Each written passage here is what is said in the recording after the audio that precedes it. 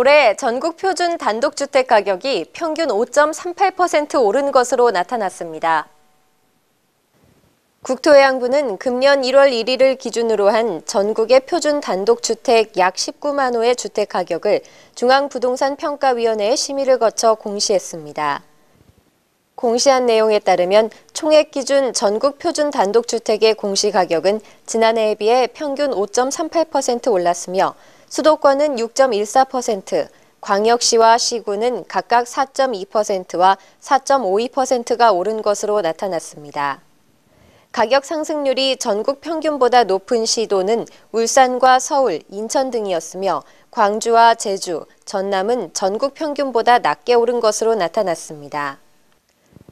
한편 표준 단독주택 공시 가격은 개별 단독주택 가격의 산정과 각종 과세 기준 등의 행정 목적으로 활용되며 오는 2월 29일까지 열람과 이의 신청이 가능합니다.